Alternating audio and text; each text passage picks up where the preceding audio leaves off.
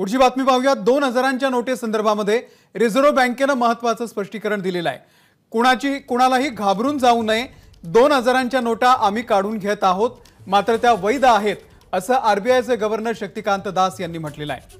हे सर्व केवळ चलनाचं व्यवस्थापन आहे. रिझर्व्ह बँक वेळोवेळी काही नोटा चलनातून काढत असते असंही दास यांनी म्हटलेलं आहे. तर दोन हजारांच्या नोटे संदर्भामध्ये रिझर्व्ह बँकेनं एक महत्वाचं स्पष्टीकरण दिलेलं आहे.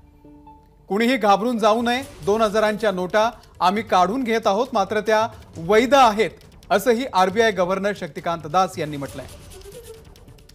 चार महीने की समय दी गई है.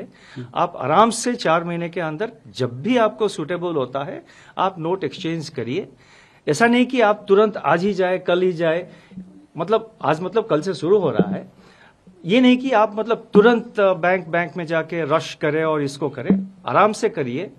टेक योर टाइम चार महीने हैं।